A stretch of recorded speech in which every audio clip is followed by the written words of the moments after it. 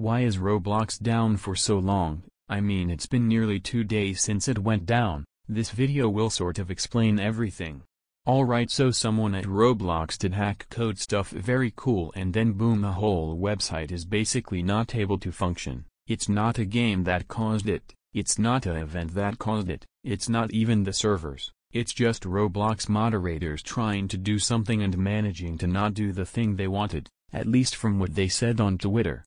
They are actively trying to fix it at the moment. It's going to take longer, as every Roblox admin is home, they always were home at weekends.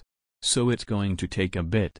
My personal thoughts are that I am extremely bored out of my mind, I mean it's been down for nearly two days straight and considering I only play Roblox, it would genuinely make me bored to the point of learning how to play Minesweeper. So yeah it was just Roblox moderators doing stuff in the code and essentially crashing the whole website.